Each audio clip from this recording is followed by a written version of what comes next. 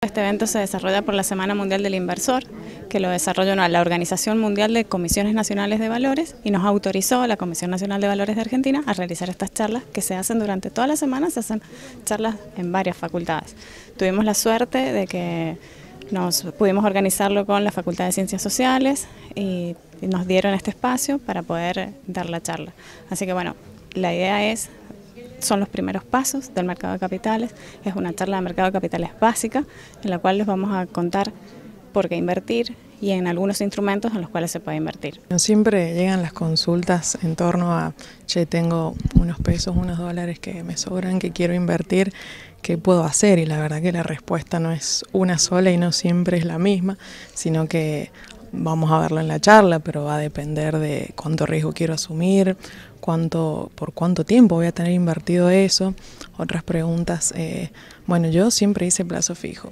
¿Qué otro instrumento puedo hacer que reemplace el plazo fijo, que sea parecido, que me dé más rentabilidad?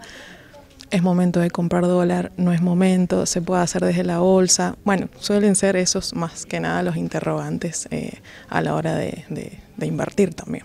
Es muy importante la educación financiera en este momento y la verdad que para nosotros brindarles a los estudiantes, tenemos estudiantes que obviamente ven materias más avanzadas que lo que hoy les vamos a dar a los chicos, pero bueno, esto está abierto a todas las facultades de ciencias sociales para que los chicos se acerquen, docentes también, público en general también invitamos, para que puedan empezar y dar sus primeros pasos en el mercado de capitales y de esa forma perder un poco el miedo, porque por ahí tenemos como esa pregunta, ¿qué se hace en la bolsa?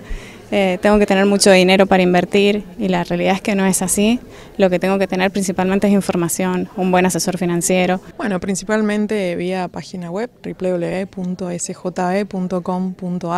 Ahí publicamos informes y algunas eh, algo de data económica también sobre tendencias y cosas que vamos viendo. Eh, uno también desde la página puede abrirse una cuenta comitente, que es necesario para poder operar en el mercado, hay que tener una cuenta comitente. Y también en Instagram, SJB Finanzas Expertas, donde bueno, permanentemente vamos publicando eh, data en, el momento sobre el mercado, porque todo es, eh, lo de ayer ya hoy es viejo, entonces bueno, es importante permanentemente estar informado sobre el mercado.